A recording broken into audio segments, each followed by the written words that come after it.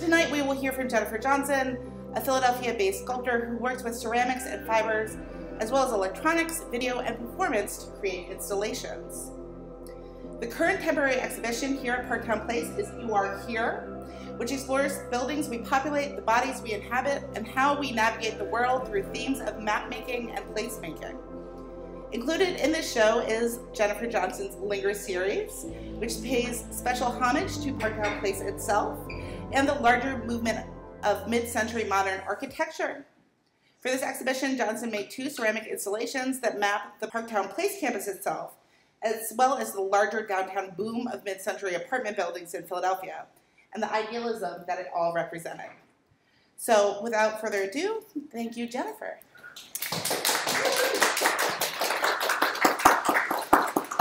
Hello.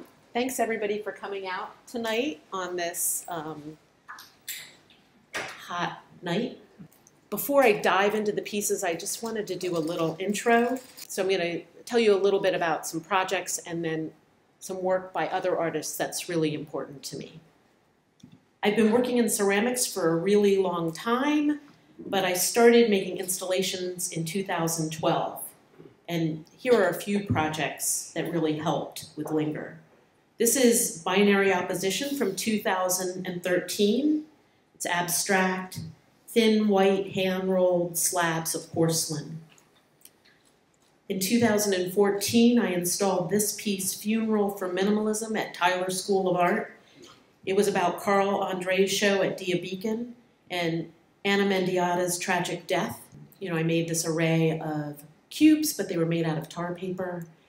And then over, uh, over a week, the grid got all broken up and distorted and kind of became like a funeral for Ana Mendieta. This is from 2016. Let me clear up a few things. It was at Temple Contemporary. It was a show, a installation about my grandmother and her mid 20th century house. Again, very thin white porcelain flowers now. I've introduced flowers. In 2017, not, um, I went to Denmark and I made the architecture of remembering. Uh, that was about Nina Hole's fire sculpture, Himmelhaus. And I used some of the information from the Funeral for Minimalism to kind of have the buildings form kind of gestures of sadness and even kind of serve as a memorial for Nina Hole, who had just died. And most recently, from 2019 to 2020, I was an artist in residence at Glen Foerd on the Delaware, which has an amazing art program, environmental program, an amazing director, Ross Mitchell. Um, and I made, uh, the first piece I made was this mirror piece which uh, when you move by it, it kind of serves up little facets of the architecture to you. And then I made a large four-part ceramic installation. Uh, I recreated the cupola that had been on top of the house in porcelain. Again, so you can see back to the, the white geometric grid that I really like. Um, and then for the first time, I made a garden piece. This is called Night Garden, and it's recreating the garden from the, the river along up to the house with the moon and the stars. And I really loved making this piece. I loved being an artist in residence. They had to kick me out eventually at the end, you know, after like two and a half years. Um, uh, so you're not kicked out. you know, a good bit of making art is looking at other people's work. And there are a few other installations that were really helpful to me on this project. Um, this is a piece I stumbled on at Mass MoCA in 2012. It's Graham Paterson's Secret Citadel. Um, and I just love this piece. Uh, you know, the scale, the childlike experience of creating a self-contained world, the details, the wonkiness of it all, you know. And there's a story here. Um, almost a parallel universe. Like he recreates the whole thing inside the Citadel, also. Um, you know, then it's got all the furniture get down at the house. It's just the more you look, the more you discover, and it, I just I love this piece. Um, I stumbled on this piece in Denmark uh, called uh, Talisman by an art collective, and it's a really phenomenal ceramics work. All these tiny little sculptures. It, it, it's a work in clay. It takes you from prehistoric you know, to futuristic, to celestial. You know, the shadows are as beautiful as the work itself. But probably the most important work to me and this project was um, the 1981 Charles Simonds Dwellings. It was, I think it might still be there, but the museum is closed. It's in the old Whitney staircase. And when I was at Swarthmore he came to Swarthmore and made a site sculpture in Tarbles. And it, it was it was kind of life changing. It, this isn't a picture of it. This is the one at Storm King. But he just would go and do these ceramic interventions in raw clay, you know, uncooked clay. Um, and I think this this this work really um, fed a lot of what I did in Linger. Okay, we're done. We're done the kind of custodial um, part of the artist talk. You know, I organized the talk and around some of the questions that motivated the work. The big question, which I think really is motivating this, is how do we make sense out of the rapid and disorienting architectural changes happening in Philadelphia right now? You know, just this week, this is a block from my studio on American Street. This is on my street, um, 36th Street. You know, you can just see the buildings are like kind of almost eating the neighborhood.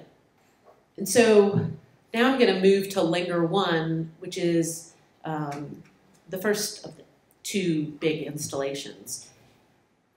So when I think about this place, I wonder about the rapid change in Philadelphia 60 or 70 years ago. So this is linger. And what I wanted to do with this piece is cut away the ground to situate the towers on a garden of what came before. And I did a lot of research to build the ground. We're sitting right in that little side building right now. So the first thing I used were um, a lot of old maps that you can find at geohistory.org. There's a layered map viewer. This is the 1962 planning map, and you can see the towers on it. And here's the 1910 Bromley Atlas, where you can see, I mean, I left the um, modern street names on there, so you can really see where, you know, Park Towne Place Boulevard was, was was Callowhill. There were machine shops, factories, houses. This is the 1985 Bromley Atlas. And here's, we, we zoomed out a little bit because it's um, not as detailed. This is the 1808 John Hill map, um, which shows um, all the streams in the area and a much wider Schuylkill River. This is the uh, St. Hedwig's Church, and school. And you can see them here on this map where they actually were. They were on Wood Street near Newton Machine Tools, which probably made stuff for Baldwin locomotives. I also used the Philly History.org geotagged map viewer, and I was able to find all kinds of really amazing photos from the site. Like these guys cut stone cutters with the houses right behind them. And some factories. And this is the corner of Callowhill and 23rd. And they, they took photos all around this corner. When I was doing a web search, I found this bizarre blog post with photos of a model from, I don't know when the model's from, but isn't the model amazing? I was so relieved I don't I didn't have to make this then. um, and then I took a lot of photos from now. This is the photo that like I see every night when I walk to Powelton Park, you know, with the light show on top. Um, and this is uh, from Spring Garden Street Bridge. And I just, I took a lot of these beautiful photos that kind of give a feeling of the site. And then lots of detail shots so that I could figure out how to make a model of it in clay. Okay, so I had all my data, my research, and then I started to make a plan for making the models of the towers. Um, this is my kiln shelf. this is as big as I can go. So I kind of move backwards from this. I need to be able to put my hands in with the piece, so I can't use the full 16 inches, but I start here. Um, and then I decided I was going to 3D print little stamps for all the windows. Obviously, I don't have, if I have them for the first floor, I have them for the second floor. But, um, you know, I, I, I, isolated all the different elements um, and figured out, you know, how the spacing and the this and the that. I knew, you know, I was going to make it, um, you know, a certain width I, I was going to make it 12.675 wide, you know. Um, and so then these are the stamps that I printed. You know, right at the top, those are the gallery windows, and then there are the end windows. And um, so then I worked from there to figure out the size of the houses that I was going to build. Um, and then I made stamps for all the housing facades. And then I started, I had jury duty. Uh, then I started uh, making layout drawings, a lot of layout drawings. Um, and then three, you know, kind of also looking at it real size, you know, taking those maps, putting it down, seeing how big the buildings were going to be. Um, this was my first prototype. It was full of errors. I didn't realize that there was a short end and a long end of the building, and I, I got this like one side the, the things don't line up, and and this is my second one. I added balconies, um, but and then you know I, I I went the whole way through. I made little box colored boxes for the top, you know. Um, here's the church. Uh, here's some flowers in my kiln, my little kiln. And I, you know, I'm just seeing what these are. This is like February, March, seeing what it looks like, what it feels like. Um, a lot more flowers. And then I, I redid the stamps so they were a little bit, they were a little bigger, and the gap between the floors was a little smaller. And so I rolled out the slab. I had a template to press in the stamps. Um, added the balconies, added this, you know, I built it up. Then here it is, all done. You know, I had to bisque each one separately. I had all four of them. You know, I was still thinking about how to install them. What, you know, what did I really want it to feel like? How was I going to get that true melancholy going? um, made, made, always made more flowers, more little bits okay, I'm all ready. I got everything. And um, this was really, this was a blast. This was, it, I didn't have enough time, but I had everything all there. I was to install it, you know. Um, you know, so I just, uh, you know, started to install. Um, and then here it is. It's all done. and um, you know you can see i think if you you know if you go and you look carefully you can see a lot of the elements you know you can see things that were in those photos. There's also like this is the little round build, the building at the corner of Callowhill, and that's where it would have been under the under the the west tower.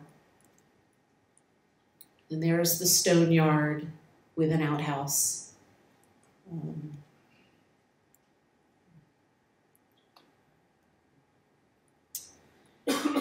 I'm not sure, you know, I really like making the flowers. Um, I think they might be a human presence or an emotional part of it. I loved making Linger One, but it felt like only part of the story. Um, I, I do know that my slice of the world is extremely thin, even in my own city. And if I'm going to spend time making work about it, I need to try to get outside of my bubble. So Linger 2 expands the view outward to include Society Hill and University City, but also Southwark, Sharswood, Mill Creek, and Mantua. So I wanted to see what did this mid-century period look like um, uh, in different parts of the city. Um, and so, and that's, this is the piece that I ended up with. The, the scale for the first one was about one to 200. So they're about a foot high and the tower is about 200 feet high, right? So I, I further reduced it. It's more like one to four or 500 for the small towers. It's approximate. I'm probably off. Um, so these are the reduced stamps for the little Park Towne Places, and there they are. Um, it was, there were four buildings, 18 stories, and they were built between 1957 and 1959. Society Hill Towers, Second and Locust, three buildings, um, 31 stories, designed by I.M. Pei, built in 1964. Here they are in wet clay. Here they are in little towers. Blumberg Towers, 23rd and Jefferson, little over a mile north. Two buildings, 18 stories, built in 1966. And then here is the demolition, the pre-demolition. It was demolished in 2016. Stamps and the um, wet clay, and then here they are. Mantua Hall, three blocks from my house. Never thought about it, right? Um, 36th and Fairmount, one building. I had to do it. It's the only one I did, but it's so close to my house, and I was so kind of oblivious to it. 18 stories, built in 1961, demolished in 2008. Mill Creek. So Mill Creek is the most idealistic. It was built by Louis Kahn. It was a part of this huge idealistic West Philadelphia project. 46th and Fairmount, three buildings, 17 stories, built 1953 to 1955. But it doesn't look like a very nice place to live. I mean, look at those tiny little windows. And then it became really like a really sad um, place. Um, this is pre-demolition photos. Um, it was de demolished in 2002. In Southwark, uh, 4th and Washington, there were three buildings. Only two of them were demolished. One was converted into senior housing. Um, 25 stories, built in 1963. And then the other one I chose uh, the Penn Towers. It, it, this is very late, 1970, but there's so much controversy in the way those towers were meant to transform that part of the city. I moved to Philly in 85 and I could, it was still there, that controversy. So um, anyway, they were 40th and Locust, three buildings, 25 stories, um, really complicated. It was really hard to make them. so many stamps, so many, like, trying to figure out how they would read properly. And so then in the end, you know, obviously I'm not going to, I arrange them so they're kind of in good geographical proximity to each other, but it's not accurate to the map in any way. Um, you know, I, there they are, um, glazed. And, uh, and I made border tiles for a frame that kind of abstracted the window patterns. You know, you could almost see them as really nice bathroom tiles or something. I didn't know what I was going to do for the garden. I, um, I thought I would just kind of do, you know, I'm really into geometric arrays. I thought I would do some kind of geometric array thing. And then I remembered this map, probably because of Amy Cohen's December article on this map. I don't know if you're familiar with it. It's uh, it's a pretty famous map now. It's Brewer's 1934 appraisal map. Uh, it's also known as the redlining map. It indicates who lives where in the city, and it also gives people letter grades. It's pretty. It um, it justified discriminatory lending, and we can correlate this data with the struggles of various communities in Philadelphia today. So it's a, it's a very powerful map. Uh, and so I decided to use, uh, this is what the colors mean. they aren't even like, they aren't even categories really. Like, they don't make sense. Like, the green is Italian, the red is colored, and the blue is Jewish, right?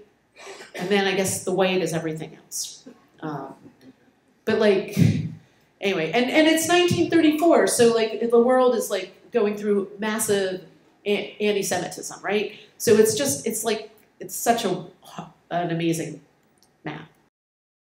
So I decided to make the garden from the map. Not that the garden caused what happened, but like I think if we think about them together, we can uh, have a we can think about the mid-century moment in a different way, right? So I made blue flowers, I made blue violets and green clover and red poppies. Um, but I did make white flowers too. I made little white pansies. Um, and I made them in different sizes and I hand made each one and I hand painted each one. Um, and uh, here they are. Uh, and then I mortared them into place. And what's great is the white pops out because it's a dark ground. Um, and here it is in the gallery. And even though it's very geometric because you know I used little geometric cutters to kind of start the flowers, uh, it's also kind of I think it feels a little wonky and very personalized. I painted, I tried to kind of paint them each flower differently so that, again, I think the flowers have a lot of emotionality and have more humanity than the original map had. I made different sizes, and I painted like some of the squares white, and some of you know there there's different clay bodies in there. Um, so because I don't think you really would probably know exactly like what category do mixed families fit into, you know, like the data, like how did they get that data? I would love to, I haven't looked into it, but I, would be interested in that. Claire asked me to make a little piece at the end, and I made Linger 3. You know, I wanted to relate the, the project that I made back to me right now. Um, and I wanted to, you know, I'm really interested in history, but I wanted to link history to memory, you know, the cultural to the personal you know, this project reminded me of how I felt when I was a child building a city on the rug. So when she asked me to make this piece, I decided I would make a copy of the play school building blocks that I used when I was five or six. Um, but this part of the, the whole project is probably related to what happened um, last year um, you know, after my 91 year old mother died in January, I spent the year going through her things. Um, this picture is of my mother and father around the time that Park Towne Place was built, which is when they met and married, with me following a few years later. So my lifespan is kind of like the lifespan of Park Towne Place. And the blocks, too, fit right in. I imagine, you know, that there were many sets of those blocks in these apartments in the 60s, right? Uh, and I loved making the blocks, I gotta say. um, figuring them out, making them out of clay, and glazing them. Uh, you know they're made out of clay because they have a little hole in them so they won't explode in the kiln. This is my mother reading to me around the time I would have been playing with blocks. So what I realized at this point is that, um, you know, with my mother dying, my family was experiencing this generational shift, you know, that happens. That's like pretty brutal. Um, thank you for being here, Betsy. it means a lot. Um, and I realized that's kind of the city went through that after World War II. The city went through something kind of like that process, and I think it's going through it again right now. Uh, you know, so here's just to end quickly. You know, this is a gallery view, and here's a detail. I loved even making the little teeny steps that go into the house, the little stoop. Um, I'm a clay artist. It was a clay project. Um, I used about 150 or 175 pounds of clay. I fired it to uh, cone 6, which is about 2250. It shrinks, porcelain shrinks about 15%, meaning, you know, when I made the towers, I had to dry it really slowly or it would crack because it really shrinks, shrinks in the kiln. Um, and I fired, my, my, my kiln did a really great job. I did over 30 firings for the project. I want to thank InLiquid um, and Park Towne Place for this great opportunity. Be sure to visit You Are Here, which includes work by these artists, Paul Thabozzi, Maria Schneider, Miriam Singer, Colleen Keefe, Miriam Rosenthal, and Deirdre Murphy. And there's a lot of more information at my website, Jennifer Johnson Clay. Thank you so much for coming.